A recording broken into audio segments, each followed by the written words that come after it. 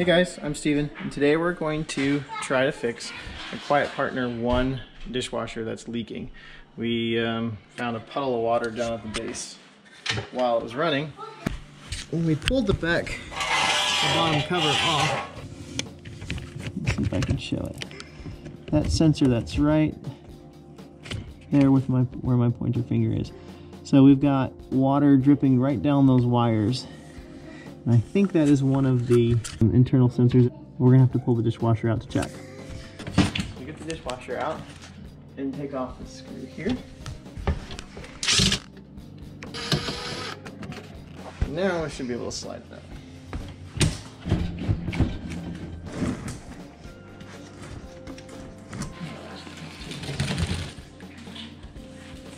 We're want to inspect in the back to make sure that we dry up all the water from the leak.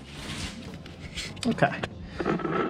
Where I see it leaking is right up in right up next to that sensor. Look inside, it looks like right next to the heating element, right where this sensor is, looks like there is some damage to the basin. This is just deteriorating, I can see the crack right there.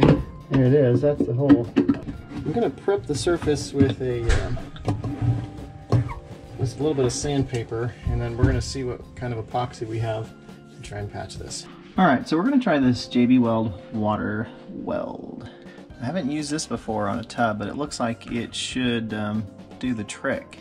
It says it will even set underwater, but it works on fiberglass, PVC, and a lot of other stuff. So before we do that, I need to prep the, the surface with a little, I have this uh, waterproof sanding sponge, um, this 3M product. Just take it to the tub and scratch up the surface really good. And that'll allow the water weld stuff to adhere better to the smooth surface.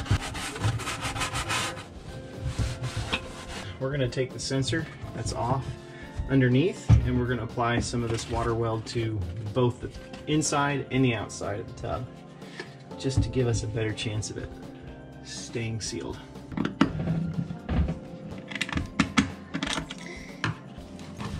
So we're gonna sand this off too. So that's the hole here. And we've got it sanded. There's a good view of the hole with a light coming up from the bottom. So the water weld, we take, we take the plastic off. You'll see there's two parts in it. Cover this back up. This is the water weld. So this is a putty. We want it to be a uniform color all the way all the way throughout. So that two parts of that putty mixed together. So as it's starting to mix more, it's warming up for my hands and it's becoming a little bit easier to mix in.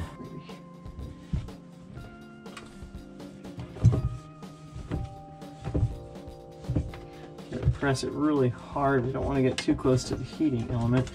Now this water weld says once it's once it's cured, it sets in 25 minutes, it says, and then once it says it cures in one hour.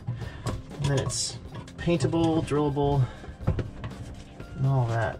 All right, so I can see that I've pressed through some of that sealant, uh, some of water seal through the crack, and that's good. That's what I want to see, but I'm gonna fill in as much, the rest of this putty, I'm gonna fill that in below.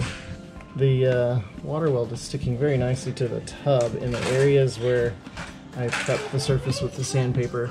And it doesn't stick quite as well where I didn't prep, so I think it is really important to, to make sure that we prep the surface really well. All right, cured up. This stuff is really hard. It's hard on the bottom and the outside.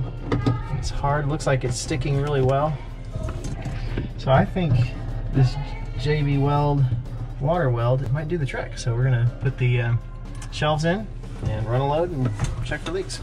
So I got everything back together and it's working perfectly and not leaking at all. And this uh, water weld, JB water weld, did the trick. I recommend it. I recommend it.